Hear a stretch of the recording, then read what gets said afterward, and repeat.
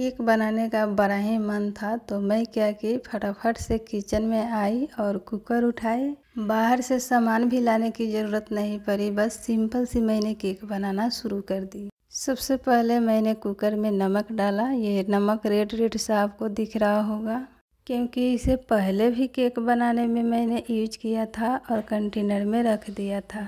अगर आपके पास स्टैंड नहीं है तो इस तरीके की कोई कटोरी या ढक्कन कुकर में नीचे रख कर के आप केक बना सकते हैं। यहाँ पर आपको कुकर की विसल और डेस्केट दोनों को अलग करके बंद करना है। कुकर को मैंने गैस पर चढ़ाई है। फ्लेम को लो टू मीडियम रखेंगे और पाँच से छः मिनट इसे गर्म होने देंगे। तब तक इधर मैं बाकी के काम कर लेती हूँ। केक बनाने के लिए केकटिंग या कोई कटोरी भी ले सकते हैं आप। इसमें मैंने थोड़ा सा ऑयल डालकर चारों तरफ़ अच्छे से ग्रीस कर लिया है। यहाँ पर कोई स्मेल वाली तेल ना यूज़ करे, मीठा कुकिंग ऑयल यूज़ करे। अब इसके अंदर बटर पेपर डालकर ऊपर से ग्रीस कर देंगे। अगर आपके पास बटर पेपर नहीं है तो थोड़ा सा आटा या मैदा लेकर इसे डस्ट कर दे और एक्स्ट्रा जो बचे उसको बाहर निकाल दे। यहाँ पर अब हम बैटर तैयार करेंगे। एक कप मैंने चीनी लिया है और एक कप गुनगुना दूध। ये लो टेम्परेचर का दूध है। दूध ज़्यादा गर्म नहीं होना चाहिए।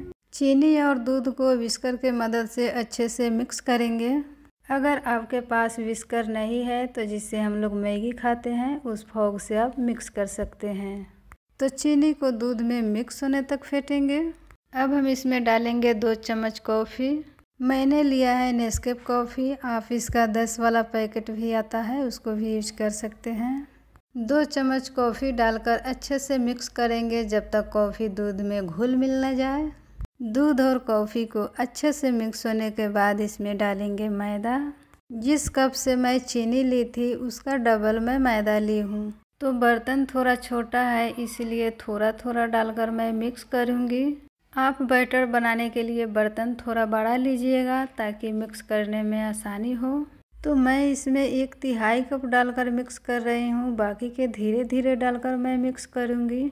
ये जब मिक्स हो गया तो थोड़ा मैदा और डाला मैंने इसके अंदर और अभी कुछ बाकी है। तो इसे भी थोड़ा मिक्स करने के बाद बाकी के सभी मैदा डालकर मिक्स करूँगी। आपको ना मिक्स मिक्स करते जाना है, एक भी लम्स या घुटलिया इसके अंदर नहीं होनी चाहिए। बाकी बचे सभी मायदे को डालकर हम यहाँ पर मिक्स मिक्स करते जाएँगे। बैटर थोड़ा ठीक लग रहा था तो मैंने यहाँ पर दो तीन चम्मच दूध और डालकर मिक्स किया। बैटर हमारे ज़्यादा ठीक नहीं होनी चाहिए और ना ही ज़्यादा पतली होनी चाहिए।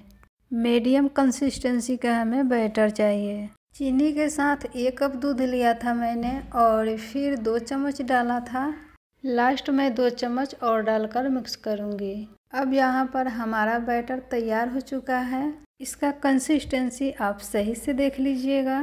ये ना ही ज़्यादा थिक और ना ही ज़्यादा पतली भी है।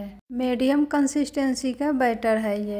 लास्ट में एक छोटी चम्मच बेकिंग पाउडर डाला है मैंने। ध्यान रहे कि बेकिंग पाउडर हमने सबसे लास्ट में डाली है और दो चम्मच दूध डालकर थोड़ा और मिक्स कर लेते हैं। अब हमें बैटर को कोई रेस्ट के लिए नहीं छोड़ना होगा।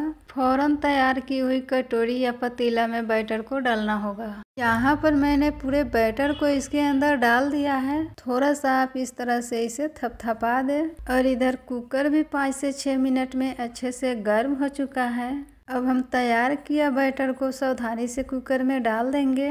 अब कुकर को ढक्कन लगाकर 35 से 40 मिनट के लिए कुक करना है।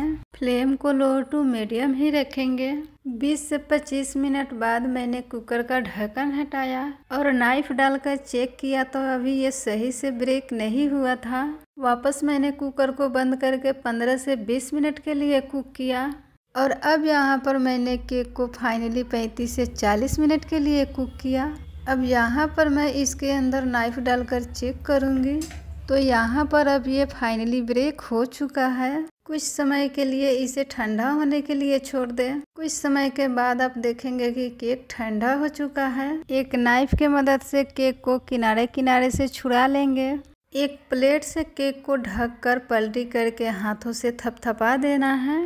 केक आसानी से प्लेट में आ जाएगा। केक देखकर आपका मन खुश हो जाएगा। हमें ना ही बाहर से सामान लाने की ज़रूरत पड़ी और ना ही घंटों तक मेहनत करनी पड़ी। जिसने कभी केक नहीं बनाई होगी, वो भी इस केक को बनाकर तैयार कर सकती है। बटर पेपर को केक से अलग करूँगी और चलिए अब केक को कट करके दिखाती हूँ। आप जिस शेप में कटना पसंद करते हो, उस शेप में कट करके अपने परिवार और बच्चों को खिला करके मन खुश कर सकते हैं। वीडियो को मैं यहीं पर एंड करती हूँ। जल्द मिलूँगी अगली वीडियो में। आज की ये केक की रेसिपी कैसी लगी मुझे ज़रूर बताएँ। और हाँ वीडियो अच्छी लगी तो लाइक ज़रूर कीजिएगा।